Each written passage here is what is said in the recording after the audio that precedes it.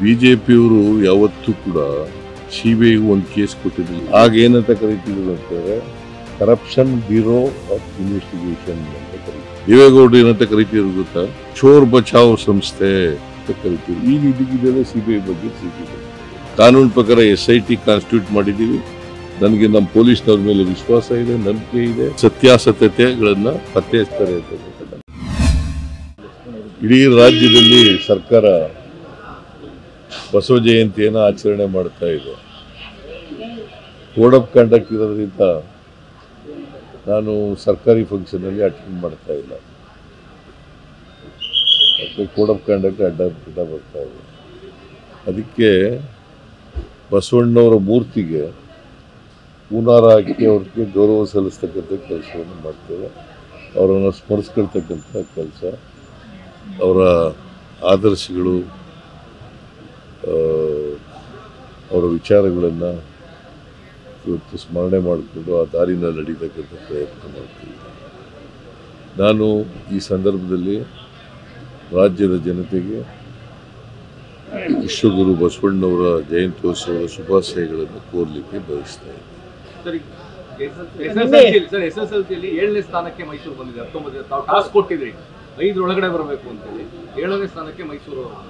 ಇಲ್ಲ ಅದಕ್ಕೆ ನಾನು ಐದು ಒಳಗಡೆ ಬರಬೇಕು ಅಂತ ಹೇಳಿದ್ವಿ.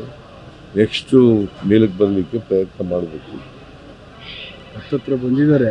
ನಿನ್ನೆ ನಿನ್ನೆ ರಿಸಲ್ಟ್ ಅಲ್ಲಿ ಫಸ್ಟ್ ರ್ಯಾಂಕ್ ಬಂದಿರುವಂತದ್ದು ಮೊರಾರ್ಜಿ ಶಾಲೆಯ ವಸತಿ ಶಾಲೆಯ ಹೆಣ್ಣು ಮಗಳು ಅಂದ್ರೆ ಅದೊಂಥರ ಸರ್ಕಾರಕ್ಕೊಂದು ಪ್ರೈಸ್ ಈಗ ಮೊರಾರ್ಜಿ ಶಾಲೆಯಿಂದ ಮಾಡಿರೋ ಉದ್ದೇಶನ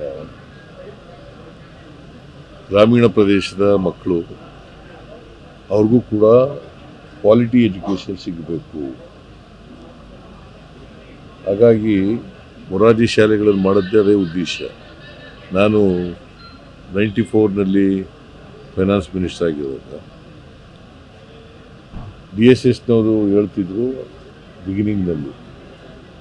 ಸಾರಾಯ ಅಂಗಡಿ ಬೇಡ ಎಂಡದ ಅಂಗಡಿ ಬೇಡ ನಮಗೆ ವಸತಿ ವಸತಿ ಶಾಲೆ ಬೇಕು ಅಂತ ಹೇಳ್ತಾರೆ ಇದು ಸ್ಲೋಗನ್ ಅವ್ರದ್ದು ಡಿ ಎಸ್ ಎಸ್ ನಾನು ಡಿ ಎಸ್ ಎಸ್ನವ್ರ ಜೊತೆ ಸಂಪರ್ಕ ಇದ್ದದರಿಂದ ಒಂದು, ನಾನು ಕೂಡ ಗ್ರಾಮೀಣ ಪ್ರದೇಶದಿಂದ ಬಂದವನು. ಗ್ರಾಮೀಣ ಪ್ರದೇಶದ ಮಕ್ಕಳಿಗೆ ಗುಣಮಟ್ಟದ ಶಿಕ್ಷಣ ಸಿಗಬೇಕು ಅನ್ನೋ ಕಾರಣಕ್ಕೋಸ್ಕರ ದಲಿತರಿಗೆ, ಹಿಂದುಳಿದವರಿಗೆ, ಅಲ್ಪಸಂಖ್ಯಾತರಿಗೆ, ರೈತರ ಮಕ್ಕಳಿಗೆ ಇವರಿಗೆಲ್ಲ ಸಿಕ್ಕಬೇಕು ಅನ್ನೋ ಕಾರಣಕ್ಕೋಸ್ಕರ ಮೊರಾರ್ಜಿ ಶಾಲೆಗಳನ್ನು ತೆಗೆದು ಇವತ್ತು ಹೆಚ್ಚು ಕಡಿಮೆ ಪ್ರತಿ ಹೋಬ್ಳಿಗೆ ಒಂದೊಂದು ರೆಸಿಡೆನ್ಷಿಯಲ್ ಅಲ್ಲಿದ್ದಾರೆ ಹೋಬ್ಳಿಗೆ ಮಾದೇವಪ್ಪನವ್ರು ಇಲ್ಲೇ ಇದ್ದಾರೆ. ಸಮಾಜ ಕಲ್ಯಾಣ ಸಚಿವರು. ಹೋಬ್ಳಿಗೆ ಒಂದೊಂದು ಸ್ಕೂಲ್ ಸುಮಾರು ಎಂಟುನೂರಕ್ಕೂ ಹೆಚ್ಚು ಎಂಟುನೂರಕ್ಕೂ ಹೆಚ್ಚು, ಸುಮಾರು ಒಂಬೈನೂರಷ್ಟು ರೆಸಿಡೆನ್ಷಿಯಲ್ ಶಾಲೆಗಳಿವೆ ಸೊ ಹಾಗಾಗಿ ಅಲ್ಲಿ ಹೆಣ್ಮಗಳು ರ್ಯಾಂಕ್ ಫಸ್ಟ್ ರ್ಯಾಂಕ್ ತಗೊಂಡಿದ್ದಾರೆ ಅವ್ರಿಗೆ ನಾನು ಅಭಿನಂದನೆಗಳನ್ನು ಸಲ್ಲಿಸಲಿಕ್ಕೆ ಬಯಸ್ತಾ ಇದ್ದೇನೆ. ಸೊ ಎಲ್ಲೂ ಹೆಚ್ಚು ಜನ ಅಲ್ಲಿ ಮೊರಾರ್ಜಿ ಶಾಲೆಯಲ್ಲಿ ಅಭ್ಯಾಸ ಮಾಡ್ತಕ್ಕಂಥವ್ರು ವಿದ್ಯಾರ್ಥಿಗಳಾಗಿದ್ದಂಥವ್ರು ಹೆಚ್ಚು ಜನ ರ್ಯಾಂಕ್ಗಳನ್ನು ಪಡ್ಕೋಬೇಕು ಡಿಸ್ಟಿಂಕ್ಷನಲ್ಲಿ ಪಾಸ್ ಆಗಬೇಕು ಅಂತಕ್ಕಂಥ ಆಶಯವನ್ನು ವ್ಯಕ್ತ ಮಾಡಿ ಸರ್ ನಿನ್ನೆ ಕುಮಾರಸ್ವಾಮಿ ಅವರು ರಾಜ್ಯಪಾಲರನ್ನು ಭೇಟಿ ಮಾಡಿದ್ದಾರೆ ಸರ್. ಎಸ್ ಐ ಟಿ ತನಿಖೆ ಬೇಡ ಪೆನ್ ಡ್ರೈವ್ ವಿಚಾರ ಸಿ ಬಿ ಐ ತನಿಖೆ ಆಗಬೇಕಂತ ಆಗ್ರಹಿಸಿದ್ದಾರೆ ಸಿ ಈಗ ಎಸ್ ಐ ಟಿ ಮಾಡಿದ್ದೀವಿ. ನನಗೆ ನಮ್ಮ ಪೊಲೀಸ್ನವ್ರ ಬಗ್ಗೆ ವಿಶ್ವಾಸ ಇದೆ, ನಂಬಿಕೆ ಇದೆ. ಅವರು ಕಾನೂನು ರೀತಿಯ ಇನ್ವೆಸ್ಟಿಗೇಷನ್ ಮಾಡಿ, ತನಿಖೆ ಮಾಡಿ ವರದಿ ಕೊಡ್ತಾರೆ ಅಂತಕ್ಕಂಥ ನಂಬಿಕೆ ಇದೆ. ಯಾಕೆಂದರೆ ಹಿಂದೆ ಎಲ್ಲ ಎಸ್ ಐ ಟಿ ನಾವು ಇದನ್ನ ಮಾಡಿದ್ದೀವಿ ಸಿ ಬಿ ಐ ಕೊಟ್ಟಿದ್ದೀವಿ. ಬಿ ಜೆ ಪಿಯವರು ಯಾವತ್ತೂ ಕೂಡ ಸಿ ಬಿ ಐಗೂ ಒಂದು ಕೇಸ್ ಕೊಟ್ಟಿರಲಿಲ್ಲ. ಆಗ ಏನಂತ ಕರಿತಿದ್ರು ಅಂತಂದರೆ ಕರಪ್ಷನ್ ಬ್ಯೂರೋ ಆಫ್ ಇನ್ವೆಸ್ಟಿಗೇಷನ್ ಅಂತ ಕರಿತಿದ್ರು. ಇದೇ ಬಿ ಜೆ ಪಿಯವರು ಕರಪ್ಷನ್ ಬ್ಯೂರೋ ಆಫ್ ಇನ್ವೆಸ್ಟಿಗೇಷನ್ ದೇವೇಗೌಡರು ಏನಂತ ಕರಿತಿದ್ರು ಗೊತ್ತಾ? ಹಾಂ? ಚೋರ್ ಬಚಾವ್ ಸಂಸ್ಥೆ ಅಂತ ಕರಿತೀವಿ ಈಗ ಇದಕ್ಕಿದ್ದೆಲ್ಲ ಸಿ ಬಿ ಐ ಬಗ್ಗೆ ಪ್ರೀತಿ ಬಂದಿದ್ದಾರೆ ಸರ್ ಅವರು ನಿಮ್ಮ ಮೇಲೆ ಅಲಿಗೇಷನ್ ಸರ್. ಸಿಎಂ ಮತ್ತೆ ಡಿ ಸಿ ಎಂ ಅವರು ಎಸ್ ಐ ಟಿ ಅಧಿಕಾರಿಗಳನ್ನ ತಮ್ಮ ತಾಳಕ್ಕೆ ತಕ್ಕ ಬಳಸ್ಕೊತಿದ್ದಾರೆ ಅಂತ ರಿಲೀಸ್ ಆಗಿದೆ ಅಂತ. ನಾವು ಯಾವತ್ತೂ ಕೂಡ ಸರ್ಕಾರ ಕಾನೂನನ್ನ ಕಾನೂನು ಯಾವ ರೀತಿ ಕೆಲಸ ಮಾಡ್ತದೆ ಅದಕ್ಕೆ ಇಂಟರ್ಫಿಯರ್ ಆಗಲ್ಲ. ಪೊಲೀಸ್ನವ್ರು ಇನ್ವೆಸ್ಟಿಗೇಟ್ ಮಾಡ್ತಾರೆ. ಸ್ಪೆಷಲ್ ಇನ್ವೆಸ್ಟಿಗೇಷನ್ ಟೀಮ್ ಮಾಡಿದ್ದೀವಿ. ಅವ್ರು ಇನ್ವೆಸ್ಟಿಗೇಟ್ ಮಾಡ್ತಾರೆ. ನನಗೆ ನಂಬಿಕೆ ಇದೆ, ಅವರು ಸರಿಯಾದ ದಾರಿನಲ್ಲಿ ಮಾಡ್ತಾರೆ ಅಂತಕ್ಕಂಥ ವಿಶ್ವಾಸ ಇದೆ. ಅವರು ನಾನು ಯಾವತ್ತೂ ಕೂಡ ಪೊಲೀಸ್ನವರಿಗೆ, ಇವತ್ತಿನವರಿಗೆಲ್ಲ, ಹಿಂದೆ ಇದ್ದಾಗಲೂ ಕೂಡ ಚೀಫ್ ಮಿನಿಸ್ಟರ್ ಆಗಕ್ಕೆ ಮುಂಚಿತವಾಗಿ ಈಗಲೂ ಕೂಡ ಪೊಲೀಸ್ನವರಿಗೆ ನಾನು ಕಾನೂನು ಬಿಟ್ಟು ಮಾಡಿ ಅಂತ ಯಾರಿಗೂ ಹೇಳಿಲ್ಲ. ಕಾನೂನು ವಿರುದ್ಧ ಮಾಡಿ ಅಂತ ಯಾರಿಗೂ ಹೇಳಲ್ಲ. ಕಾನೂನು ಪ್ರಕಾರ ಮಾಡಬೇಕು ಅಷ್ಟೇ. ಕೇಸಿನ ವಿಸ್ತರಣೆ ಬಹಳ ಇದೆ ಬೇರೆ ಸ್ಟೇಟ್ಗಳೆಲ್ಲ ಇದೆ. ಹಾಗಾಗಿ ಎಸ್ ಐ ಟಿ ಅವ್ರ ಕೈಲಿ ಆಗಲ್ಲ ಅಂತ ಅಂತಾರಾಷ್ಟ್ರೀಯ ಮಟ್ಟದಲ್ಲಿ ಅಂತ ಇಲ್ಲ ಅಂತಾರಾಷ್ಟ್ರೀಯ ಮಟ್ಟ ಬರೋದೇ ಇಲ್ಲ ಇದು.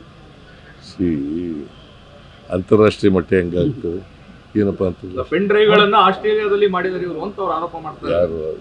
ಸಿ ಬಿ ಐಗೆ ಹೇಳೋಕ್ಕೋಸ್ಕರ ಇದು ಹೇಳ್ತಾ ಇದ್ದಾರೆ. ಆಸ್ಟ್ರೇಲಿಯಾ ಮಲೇಷಿಯಾದಲ್ಲಿ ತಯಾರಾಗಿದೆ. ಆಯ್ತಪ್ಪ ಮಲೇಷಿಯಾದಲ್ಲಿ ಇವರು ಎಸ್ ಐ ಟಿ ಮೇಲೆ ನಂಬಿಕೆ ಇಟ್ಕೋಬೇಕಲ್ವ? ನಮ್ಮ ಪೊಲೀಸ್ನವ್ರ ಮೇಲೆ ನಂಬಿಕೆ ಇಟ್ಕೊಳ್ಳೋದು, ಇನ್ಯಾರ ಮೇಲೆ ನಂಬಿಕೆ ಇಟ್ಕೊಳ್ಳೋದು? ಎಲ್ಲ ಕ್ರಿಮಿನಲ್ ಅಫೆನ್ಸಸ್ಗಳನ್ನೆಲ್ಲ ಎಂಕ್ವೈರಿ ಇನ್ವೆಸ್ಟಿಗೇಟ್ ಮಾಡೋರು ಯಾರು? ಯಾರ್ರೀ? ನಮ್ಮ ಪೊಲೀಸ್ ಅಲ್ವಾ? ಮತ್ತೆ ಈ ಎಸ್ ಐ ಟಿ ಆಗಿರೋದು ಯಾವ ಪೊಲೀಸು? ಹಾಂ? ಅವ್ರಿಗೆ ನಮ್ಮ ಪೊಲೀಸ್ನವ್ರ ಮೇಲೆ ನಂಬಿಕೆ ಇಲ್ವಾ? ನಾವು ಸಿ ಬಿ ಐ ಕೊಟ್ಟಿದ್ವಲ್ಲ, ಡಿ ಕೆ ರವಿ ಕೇಸ್ ಕೊಟ್ಟಿದ್ದು, ಏನಾಯಿತು? ಹಾ? ಇದು ಲಾಟ್ರಿ ಕೇಸ್ ಕೊಟ್ಟಿದೆ ಏನಾಯ್ತು? ಜಾರ್ಜ್ ಕೇಸ್ ಕೊಟ್ಟಿದೆ ಏನಾಯ್ತು? ಎಂತೆ ಪರೇಶ್ ಮೆಸ್ತಾ ಕೇಸ್ ಕೊಟ್ಟಿದ್ದು ಏನಾಯ್ತು? ಒಂದಾದ್ರೂ ಶಿಕ್ಷೆ ಆಯ್ತಾ? ಸೊ ಹಾಗಂತೇಳಿ ನನಗೆ ಸಿ ಬಿ ಐ ಮೇಲೆ ನಂಬಿಕೆ ಇಲ್ಲ ಅಂತ ಹೇಳಕ್ ಹೋಗಲ್ಲ. ಬಟ್ ನಮ್ಮ ಪೊಲೀಸ್ನವ್ರ ಮೇಲೆ ನಂಬಿಕೆ ಇದೆ. ಯಾರ ಇನ್ವಾಲ್ವ್ಮೆಂಟು ಇಲ್ಲ ಇದರಲ್ಲಿ? ಯಾರ ಇನ್ವಾಲ್ವ್ಮೆಂಟು ಇಲ್ಲ? ಗೊತ್ತಾಯ್ತಾ ಡಿ ಕೆ ಶಿವಕುಮಾರ್ ಇನ್ವಾಲ್ವ್ಮೆಂಟು ಇಲ್ಲ ನನ್ನ ಇನ್ವಾಲ್ವ್ಮೆಂಟು ಇಲ್ಲ ಯಾರ ಇನ್ವಾಲ್ವ್ಮೆಂಟು ಇಲ್ಲ. ಕಾನೂನು ಪ್ರಕಾರ ಕಾನೂನು ಪ್ರಕಾರ ಎಸ್ ಐ ಟಿ ಕಾನ್ಸ್ಟಿಟ್ಯೂಟ್ ಮಾಡಿದ್ದೀವಿ. ನನಗೆ ನಮ್ಮ ಪೊಲೀಸ್ನವ್ರ ಮೇಲೆ ವಿಶ್ವಾಸ ಇದೆ ನಂಬಿಕೆ ಇದೆ. ಸತ್ಯ ಅಸತ್ ಸತ್ಯಾಸತ್ಯತೆಗಳನ್ನು ಪತ್ತೆ ಹಚ್ತಾರೆ ಅಂತ ರೇವಣ್ಣ ಅವರ ಬಂಧನದಲ್ಲಿ ರಾಜಕೀಯ ಹಸ್ತಕ್ಷೇಪ ಇದೆ ಅಲ್ಲಿ ಪ್ರಕರಣನೇ ಇಲ್ಲ ಆದರೂ ಬಂಧಿಸಿದ್ದಾರೆ ಅನ್ನೋ ಒಂದು ಏನು. ಹಸ್ತಕ್ಷೇಪ? ಮತ್ತೆ ಆಗಿದ್ಮೇಲೆ ಆನ್ಸಿಪೇಟ್ರಿ ಬೇಲ್ ಯಾಕೆ ಮೂವ್ ಮಾಡಿದ್ರು.